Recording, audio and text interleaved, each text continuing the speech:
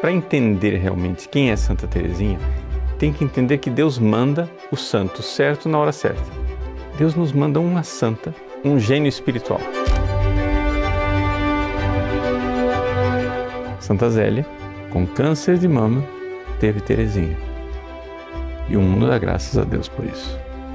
A família Martin quer aproximar de vocês como uma intercessão, como modelo de santidade para as famílias nos dias de hoje, que é possível sim a santidade.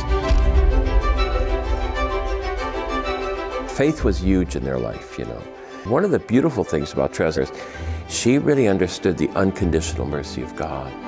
Thérèse nous apprend que combattre, c'est simplement s'abandonner à la volonté de, de Jésus, à l'amour de Jésus au-dedans de nous. Pourquoi? Pour vivre d'amour. Au cœur divin, débordant de tendresse, j'ai tout donné, légèrement je cours, vivre d'amour.